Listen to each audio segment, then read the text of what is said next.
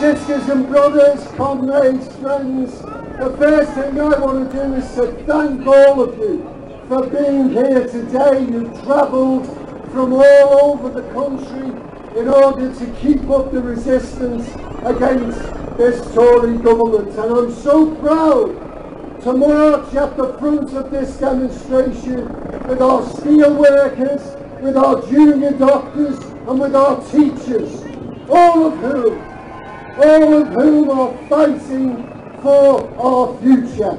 The steel workers fighting for the future of the whole of the manufacturing sector of our nation. Our junior doctors, along with nurses, fighting for our NHS.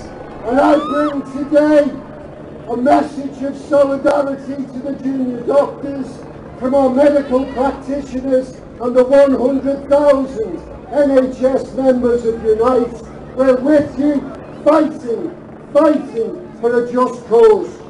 And our teachers, comrades, our teachers, fighting for the future of our kids.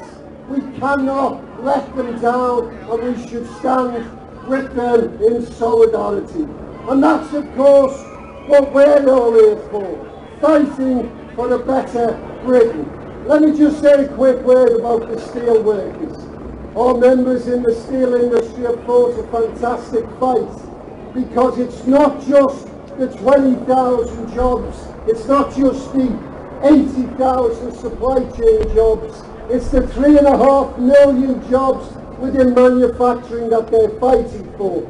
Those manufacturing jobs that help secure good public services. I'm proud of them and you need to give them support because it affects all of us what happened to our steel industry. But you know, comrades, apparently there are some in the Labour Party who say that MPs shouldn't be really on demonstrations of this nature. It kind of discredits them. I know, it makes you laugh, something. The reality, of course, is that under the leadership of Jeremy Corbyn and John McDonnell,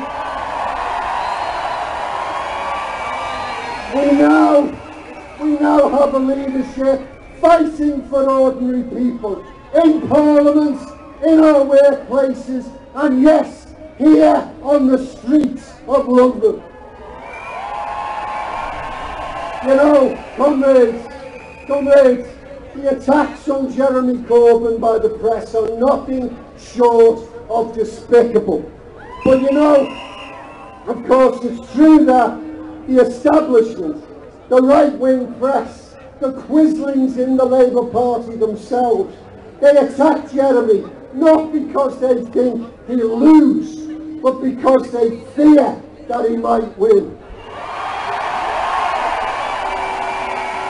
And that's because, of course, ordinary people, ordinary people are fed up to their back teeth with the ideology that attacks our, all our heritage, that creates despair and hopelessness.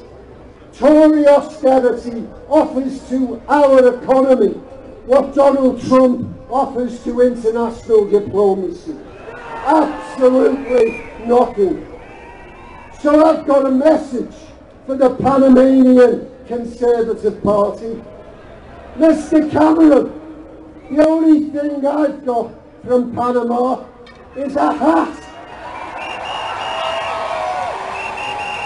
So I say, along, along with your sleazy mates, your ta tax dodging mates, slope up to one of your tax havens and lead the decent people of Britain to build a better society.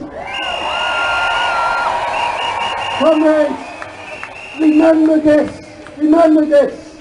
Today's political elites are as discredited and disgraced as any time in history.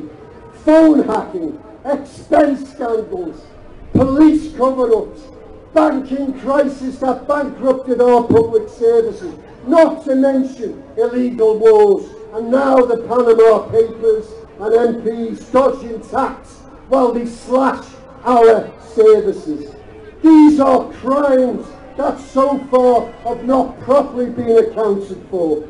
The establishment shames our democracy.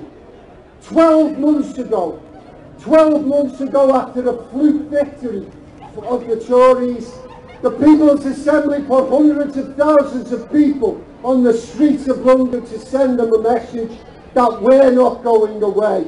It's up to all of us, trade unionists, students, pensioners, those in work and those not in work, working together, black and white, to send a clear message that we will fight, fight, fight for a better tomorrow. Thanks, comrades.